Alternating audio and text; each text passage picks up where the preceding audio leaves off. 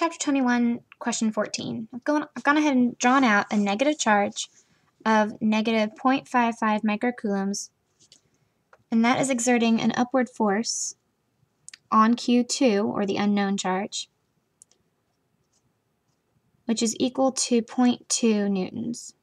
So we're going to, since we have this labeled Q1 and Q2, this is the force of Q1 on Q2. All right.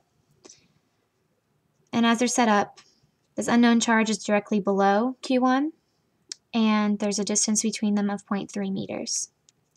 Part A is asking us, what is the unknown charge, its magnitude, and its sign?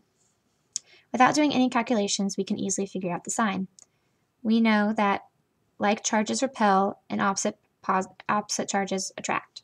So we know that Q2 is a positive charge, since this force is going up or towards the other charge. Now to find the magnitude. We have Q1, we have a force, and we have a distance.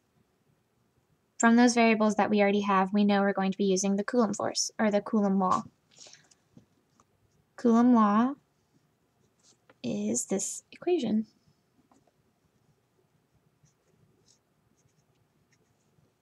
All right, so let's go ahead and plug in the values that we have. F is 0.2 newtons.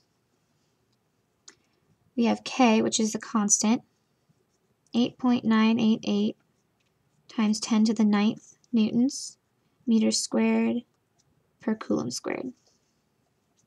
we're going to multiply this by Q1, absolute values. Don't forget those absolute values.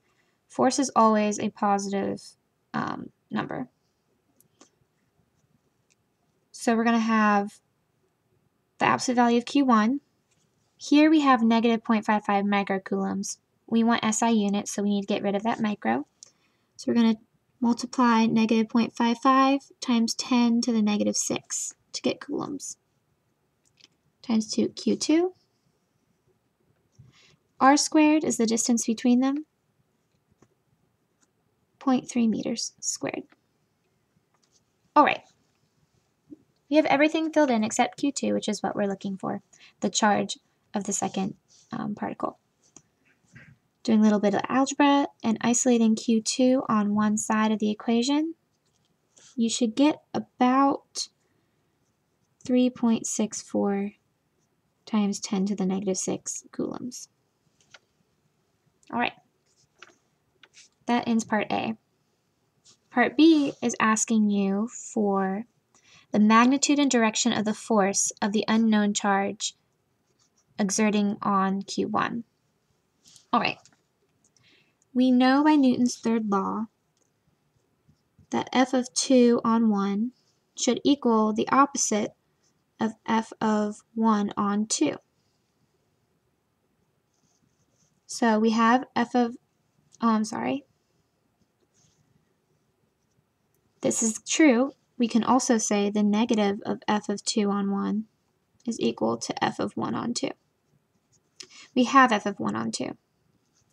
So we know that 0.2 equals the negative of f of 2 on 1. Therefore, f of 2 on 1 equals negative 0.2 newtons. Now I said before that the force doesn't have a sign. In this calculation, this is taking into account the direction of the force. This negative sign is simply saying that this force F2 on 1 is in the opposite direction of F1 on 2. If you're going to ask for the magnitude of F2 on 1, you're going to say 0.2 newtons. Now we can go ahead and draw F2 on 1. Since it's negative, it's in the opposite direction of F1 on 2 and is going to have the exact same magnitude.